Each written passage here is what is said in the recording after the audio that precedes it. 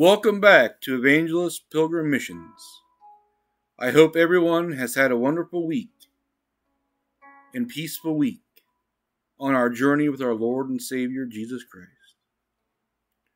Let us take a moment to pray. Heavenly Father, we are gathered here today to worship your everlasting love. A love so very strong that you gave your only begotten Son for our sins. Lord Jesus, watch over our family, our church family, our friends, our community, our great state, and our country, and the planet that you created for us, Lord.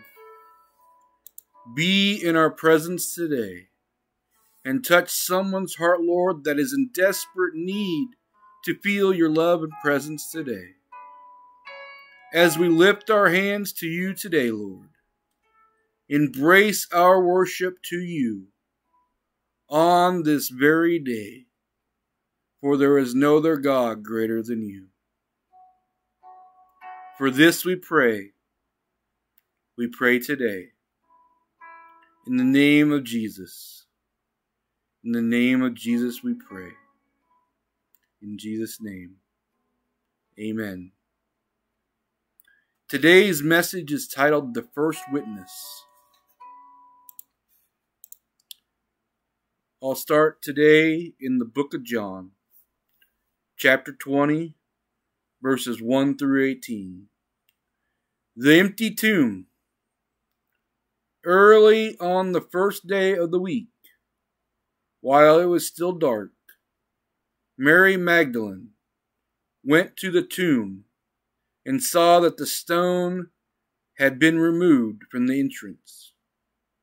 So she came in, running to Simon Peter and the other disciples, the one Jesus loved, and said, They have taken our Lord out of the tomb, and we don't know where they put have put him.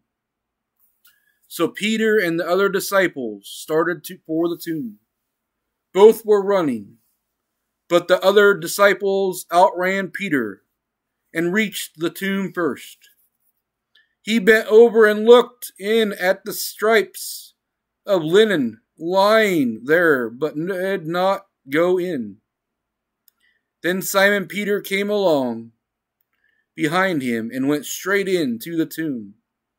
He saw the strips of linen lying there, as well as the cloth that they had been wrapped in around Jesus' head. The cloth was still lying in its place separate from the linen. Finally, the other disciples who had reached the tomb first also went inside. He saw and believed. They still did not understand from Scripture that Jesus had risen from the dead. Then the disciples went back to where they were staying. And the first witness Jesus appears to is Mary Magdalene. Now Mary stood outside the tomb crying, and as she wept, she bent over to look into the tomb and saw two angels in white seated there where Jesus' body had been, and one at the head and the other at the foot. And then asked her, Woman, why are you crying?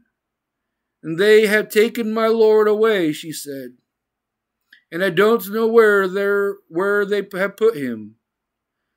At this she turned around and saw Jesus standing there, but she did not realize that it was Jesus. He asked her, Woman, why are you crying?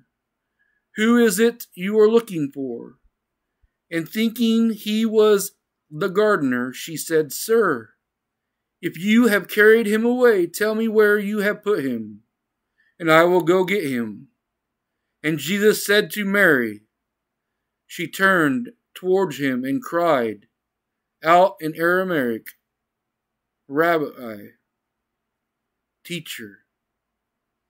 Jesus said, Do not hold on to me, for I have not yet ascended to the Father.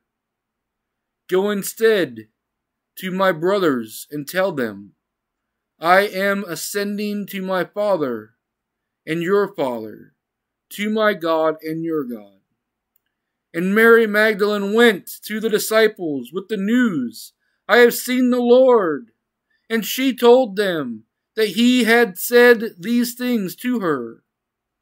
And in the book of Luke, chapter 24, verse 34, the Lord has risen indeed. In conclusion today, I leave you with the notion and this thought today.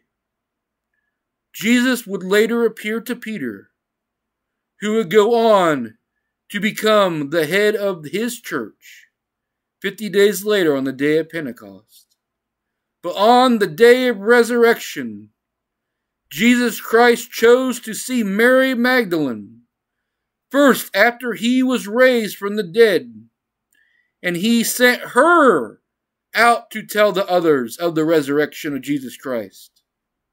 In this sense, she is the first apostle of the gospel of the resurrection, not as one having authority, but as one the first witness to Jesus rising from the dead, and the first person sent, which is what the apostles mean to tell others of the good news of his resurrection.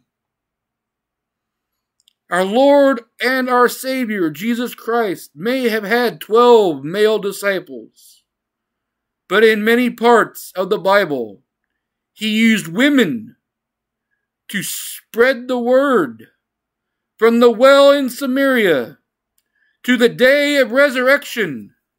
Jesus knew women have a place at the table in the mission field. Amen. Until next time, God bless.